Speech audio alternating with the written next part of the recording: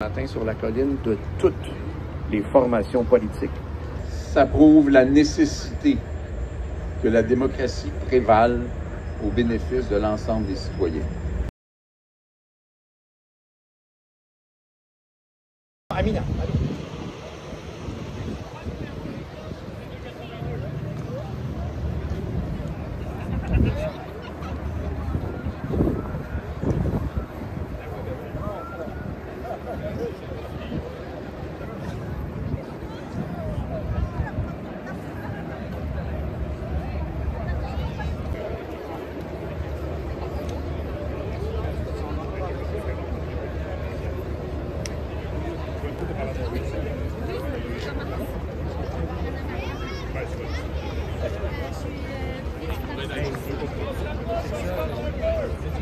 Come join us.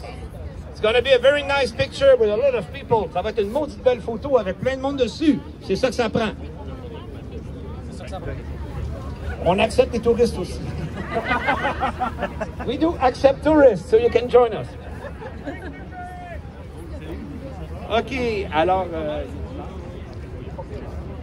peut partir. On peut partir, hein? Joe? Oh oui, OK. Alors, bonjour tout le monde. Euh, Premièrement, ben, je me présente, Yves Perron, député de Berthier-Masquinongé, porte-parole en agriculture agroalimentaire et gestion de l'offre. C'est de ça dont il est question aujourd'hui, la gestion de l'offre. Je vous remercie tellement d'être ici avec nous. Je suis accompagné par mes deux comparses complices depuis le début dans ce projet de loi-là. Luc Thériault, qui est député de Montcalm, qui est le parrain du projet de loi. Et, Simon-Pierre Savard-Tremblay, qui est député de Saint-Martin sur la colline de toutes les formations politiques. Puis on a des sénateurs avec nous. Donc, s'il n'y a pas quelque chose de plus rassembleur que ça, c'est la gestion de l'offre, c'est l'avenir de notre... Les formateurs laitiers sont là aussi, les producteurs de, de, chacune des provinces. Donc, je vous dis, il y a du monde. Et si j'oublie quelqu'un, vous me signalerez. J'ai vu mon ami Francis Drouin, qui vient d'arriver, secrétaire parlementaire en agriculture, qui est là, qui a été euh, délogé par... Euh, le statut social des personnes qui vont parler.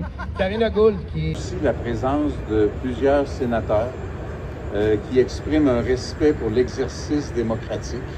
Leur devoir, certainement, de contribuer à l'amélioration des pièces législatives, mais le respect de la volonté populaire telle qu'elle s'exprime par le truchement des élus.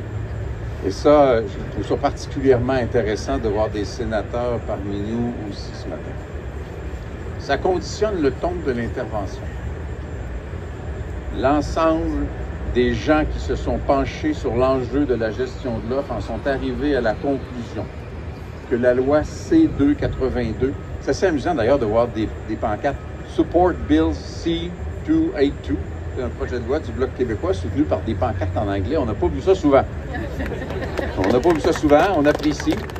Euh, vous savez, si dans le contexte d'échanges et de traités commerciaux, on décidait que ce qui est relatif à nos politiques sociales méritait d'avoir un traitement particulier, on aurait le droit. Si dans le contexte d'un traité commercial, on décidait que ce qui est lié à nos considérations environnementales mérite un traitement particulier, on aurait le droit. Lorsqu'on a décidé que ce qui était relatif dans les traités commerciaux aux enjeux de culture et d'art devait être l'objet d'un traitement d'exception. Nous l'avons obtenu, c'est l'exception culturelle. Et j'étais à la disque à l'époque où c'est apparu sur la table. C'est né au Québec et c'est maintenant appliqué à l'échelle internationale. Si nous considérons que la préservation de la qualité par des normes sanitaires, par des normes environnementales et par des normes de qualité des produits que les Québécois et les Canadiens consomment méritent d'être protégés dans le cadre d'un traité commercial, nous en avons le droit.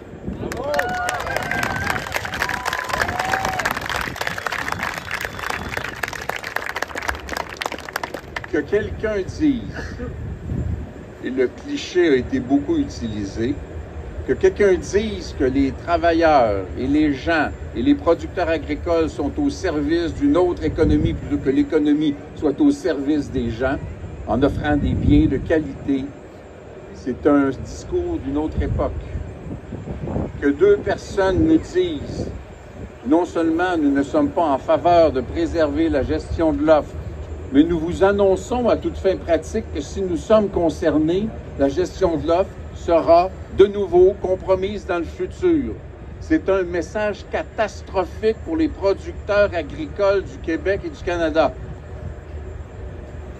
Moi, je vais accorder l'entièreté du soutien qu'on peut, peut offrir comme formation politique, bien sûr à l'intérieur des délais qui sont impartis au Parlement, au gouvernement, pour exercer toutes les pressions nécessaires pour que dès les prochains jours, le Sénat dispose positivement du projet de loi C-282 qui recevra automatiquement la sanction royale et deviendra la loi nécessaire pour assurer la pérennité, la prévisibilité d'un modèle agricole qui est au service des gens du Québec et qui l'est aussi au service des gens du Canada.